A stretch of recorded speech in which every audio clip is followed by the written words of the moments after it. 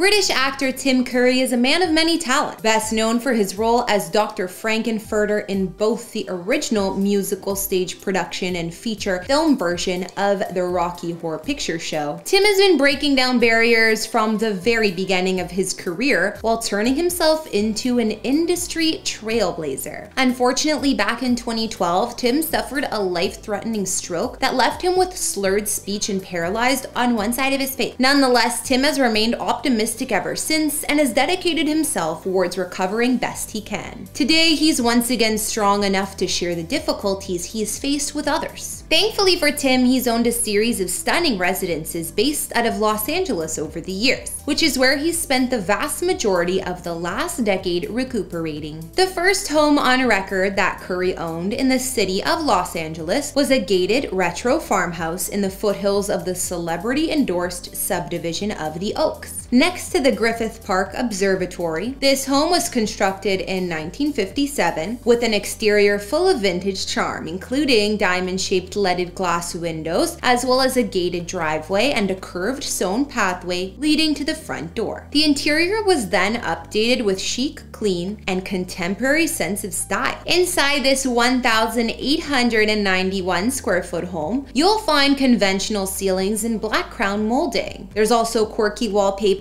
eclectic furnishings, and a low hanging chandelier to be found in a living room that also boasts a fireplace. Not far from there is a den with a fireplace of its own, not to mention a wall mounted TV and a skylight above. When it comes to mealtime, Tim used his well equipped chef's kitchen with high end appliances ceramic floors, and a breakfast nook. Upstairs, each of the two bedrooms boasts its own ensuite, including the master suite, which has the added bonus of a sitting area too. But as nice as the inside is, the loveliest part of this home is stepping through the French doors to discover the extra large patio and lagoon style pool with accompanying spa. There are even stone steps that lead down to a garden, making this Tim's own personal private oasis for a number of years. Then in 2005, Tim listed this property and sold it to actress Christina Ricci for $1.5 million. She would live here for the next decade before selling the home at a slight loss in 2014. As for Tim, after selling that home, he immediately bought a new one, not far from his first, in the neighborhood of Los Feliz.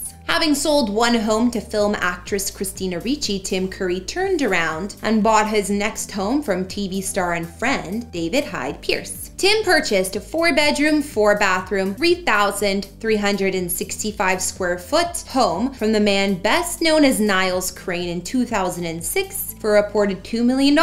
Under Curry's ownership, this 1920s era abode underwent a huge renovation, updating its interior, including the study, den, and breakfast room, while keeping much of the period details and charm for this private home that sits on a gorgeously maintained one third of an acre lot with palm trees and a swimming pool. After suffering his stroke in 2012, this was also the first house that Tim returned to in order to begin the long process of healing. Two years later, however, Tim would sell this property property in 2014 for $3.2 million. I guess he must have already been feeling a bit better by that point. But there's one other home Tim owned in Los Feliz that he sold just prior to his health scare. And something tells me that if he had the chance to go back in time and do it all over again, he might make a different decision because this place is exactly the kind of home you'd want to recuperate in. Back in November 2004, Tim Curry bought himself a property with a pretty remarkable pedigree pedigree. The home, constructed in 1922 by Los Angeles architect Stiles O. Clements, sits on a 2.2 acre lot and was one of the first homes to ever be built in the neighborhood of Los Feliz. When Tim first discovered this property, he wasn't looking to buy a new home for himself, but a friend of his knew his immense love for gardening, and he believed that this could be the perfect spot for Tim to develop that passion even further. At that time, this home was painted a not so tasteful shade of red and was in desperate need of fixing up. Nonetheless, with all that potential for a gorgeous garden space, Curry put in an offer of over $3.3 million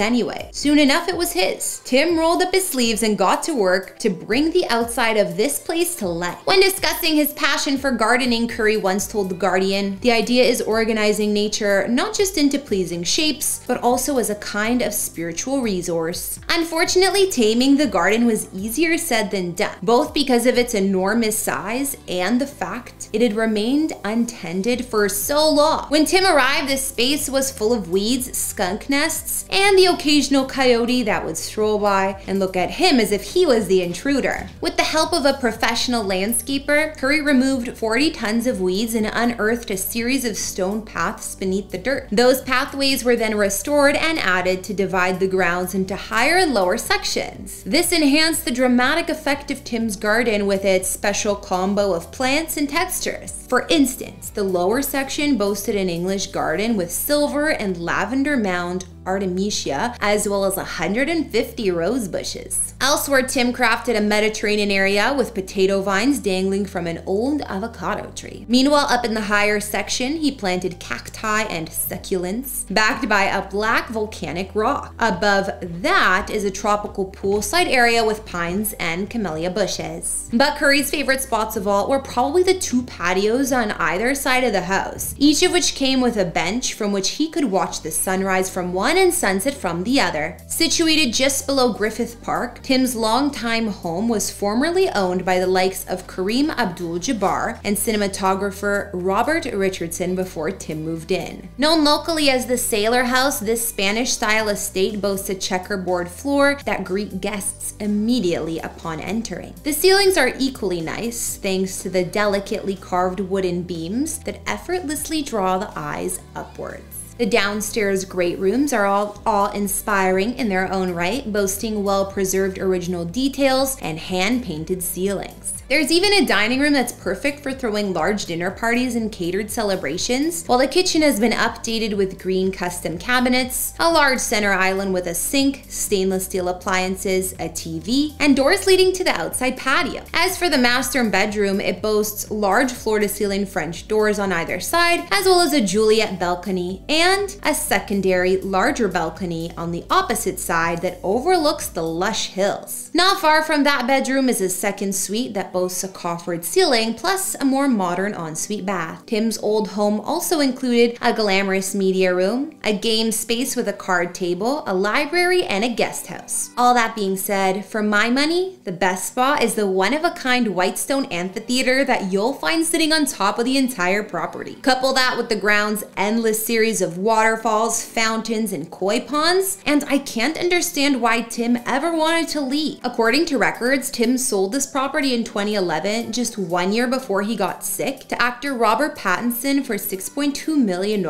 Over the next few years, the property would continue to change hands from one famous owner to the next, including Noah Wyle and Jim Parsons. But Tim never returned to the home he helped breathe new life into. Where exactly Tim lives these days isn't entirely clear. There's no official record anywhere to be found, but the rumor mill suggests he still owns a home in LA, just with a much smaller garden that still provides the necessary sanctuary he needs to rest, recuperate, and work on his tan. But wherever he's living, it seems Tim's home has revisited that bright shade of red based upon remote interviews he's given over recent months. Until we find out exactly where that might be, we'll bring this latest house tour to a close. Thanks so much for joining me today, and before you head out, consider answering the following question. Would you ever buy a multi-million dollar fixer-upper simply because you believed in the potential of its garden? Let me know if you have planting on the mind as much as Tim Curry does in the comments below. Otherwise, like, subscribe, and turn on those notifications so you never miss a drop. My name's Kara. If you want to check out some more celebrity homes, then stick around because next, I'm about to take you inside the properties of Mr. Twilight himself, Robert Pattinson. I'll see you next time.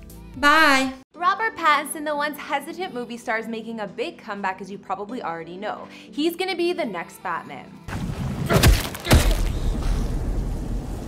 I'm vengeance. Despite his Hollywood success, he's tried to stay low-key, which could explain why his current home is pretty modest. Although back around the Kristen Stewart days, the actor resided in an iconic Los Feliz mansion and a stunning property in Bel Air, some may say his current Hollywood house is a downgrade. But Robert likes his villa-style residence just fine. We'll take a look at some of the properties Robert's called home. We even found the listings. Robert Pattinson is an English actor who began his journey acting in a London theatre club at the young age of 15. Fellow Harry Potter fans will no doubt remember his big break in the film when he was cast as Cedric in Harry Potter and the Goblet of Fire. Now I'm probably the only chick ever that wasn't a Twilight fan. I know, shame on me. But my opinion is irrelevant because the book and movie series was like the most famous thing back then. It was inescapable. And as you know, Robert starred as the lead in the Twilight films as none other than Edward Cullen. The five movie installations came out during 2008 to 2012 and earned a combined massive total of $3.3 billion worldwide. Not to mention, it brought Robert worldwide fame and established him among the highest paid actors in the world. Thanks to playing Edward Cullen and also for having a whirlwind and dramatic relationship with his co-star Kristen Stewart, Robert was definitely the center of a ton of media attention, whether he wanted to be in the public eye or not. Despite starring in romantic dramas and being offered big budget film roles, Robert has often preferred starring in more independent productions. This is one reason his role in Batman is also a big deal. It seems like the man likes staying out of the immediate Hollywood circle and likes his privacy. When you guys see his house, you might agree that Robert is on the more modest side. Either way, Robert's current estimated net worth is at at least 100 million, so if he really wanted to, he could afford a way more than his home that's worth only a couple million. Hey guys and girls, it's Kara, and in honor of Robert Pattinson being the new Batman, today we're going to be covering his house tour here for you on Famous Entertainment. We'll look at his current villa in Hollywood he's lived since 2014, but also a couple of his previous properties which are more extravagant, just so you can compare. If you like these videos, make sure you're subscribed and ring that bell to be notified when we post so you can always be up to date. We've also done house tours in the likes of Miley Cyrus and Julia Roberts, and we'll link to some at the end. Follow me on Instagram to chat, and as usual, let me know whose house tour is next in those comments down below. Now let's get into this video.